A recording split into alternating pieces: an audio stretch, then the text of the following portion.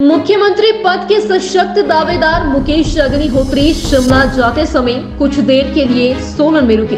उन्होंने यहाँ मीडिया से अनौपचारिक बातचीत की और बताया कि उन्हें शीर्ष नेतृत्व ने भाजपा का तख्त पलटने की जिम्मेवारी दी थी। उस जिम्मेवारी को उन्होंने न केवल पाँच वर्ष तक निभाया, बल्कि भाजपा का रिवाज भी बदला और ताज भी बदला।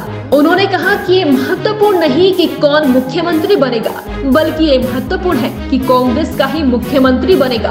उन्होंने कहा कि उन्होंने पहले ही प्रदेश के मुख्यमंत्री को मानसिक रूप से विपक्ष में बैठने की सलाह दी थी, और आज वह दिन आ गया कि भाजपा अब विपक्ष में बैठेगी। उन्होंने कहा कि भाजपा के डबल इंजन में ट्रबल आ गया है और हिमाचल से इसकी शुरुआत हुई है। उनसे जब पूछा गया कि अफवाह चल रही है कि सुखविंदर सिंह सुक्खू कुछ विधायकों के साथ एकांत में चले गए हैं तो उन्होंने इस बात को अफवाह बताया और कहा कि ये केवल अफवाह है और कुछ देर में सभी 40 विधायक शिमला में आयोजित बैठक में भाग लेंगे। हमारा काम था सरकार बनाना। हमें पाँच साल पहले एक जिम्मा मिला था।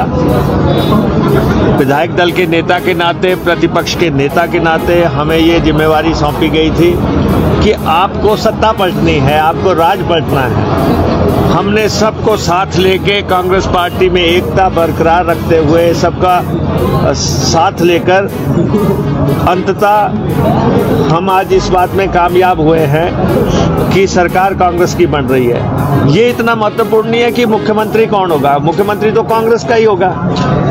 ये महत्वपूर्ण था कि राज पलट रहा है कि नहीं पलट रहा है? तो राज पलटा गया। हिमाचल की जनता ने जो मैंडेट दिया है, हिमाचल की जनता ने जो हमारे हक में फतवा दिया है, किसी भी हालत में उनके विश्वास पे आँच नहीं आने दी जाएगी। उन्होंने कांग्रेस पार्टी पे विश्वास जताया है और कांग्रेस के सब नेताओं की जिम्मेवारी है, हम सब की जिम्मेवारी है। लोगों का विश्वास जो है उसको हम बरकरार रखें। और बाकी भारतीय जनता पार्टी ने डिफीट एक्सेप्ट कर ली है और उन्होंने मान लिया है कि हम हार गए हैं और हमें विपक्ष में बैठना है। हम तो बहुत देर से कह रहे थे कि मुख्यमंत्री जी को मानसिक तौर पे तैयारी करनी चाहिए, अपने को मानसिक तौर पे तैयार करना चाहिए कि विपक्ष में बैठना है। और क्योंकि जिस ढंग से शासन चलाया गया, जिस ढंग से शासन चलाया गया उससे हिमाचल प्रदेश के समय की आपराधिक बर्बादी हुई है। Criminal wastage of time of Himachal Pradesh, विकास रुक गया, कल्याण रुक गया, गरीब की सेवा रुक गई।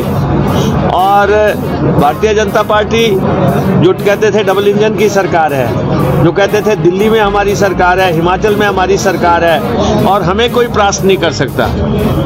और हमने ये कहा था कि डबल इंजन को सीज होना है और वो पहाड़ की, पहाड़ को नहीं चढ़ पाएगा। तो जितनी सीटों के आसपास हम बार बार कह रहे थे कि 40 बतालीस सीटें हमारी आएँगी, वो सीटें हमारी आई हैं और कांग्रेस के नेता सब एकजुट रहेंगे। ये देवभूमि है, यहाँ पे खरीदारी हो नहीं सकती, किसी का ज़मीर बिका हुआ नहीं है। सब ज़मीर वाले लोग हैं सब लोग जनता ने चुन के भेजे हुए हैं कांग्रेस की टिकट पे जीते हैं। इसीलिए जो अखबारों में लगातार खबरें छप रही थी कि राजस्थान जा रहे हैं छत्तीसगढ़ जा रहे हैं आपने देखा कि सारे शिमला आ रहे हैं। प्रदेश की राजधानी शिमला में आ रहे हैं। शिमला में हमारी अभी कुछ देर के बाद आ, मीटिंग होगी। हमारे ऑब्जर्वर्स आ रहे हैं हमारे प्रभारी आ रहे हैं और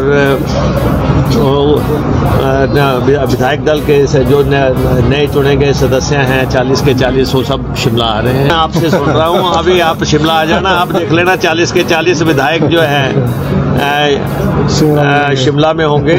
देखिए सुखू जी भी पार्टी के सीनियर लीडर हैं कंपेन कमेटी के प्रभारी रहे, चेयरमैन रहे हैं तो ये ये खबरें जो है, इनमें कोई हकीकत नहीं है। सभी 40 विधायक जो हैं, वो शिमला में थोड़ी देर के बाद होंगे और पहली मीटिंग होगी नए चुने हुए विधायक दल की पहली मीटिंग पार्टी के मुख्य कार्यालय में होगी। और आपको मैं ये आश्वस्त करना चाहता हूँ कि जो जनता ने मैंडेट दिया है, जो जनता ने कांग्रेस पार्टी में विश्वास प्रकट किया है, उस पे आँच नहीं आने दी जाएगी।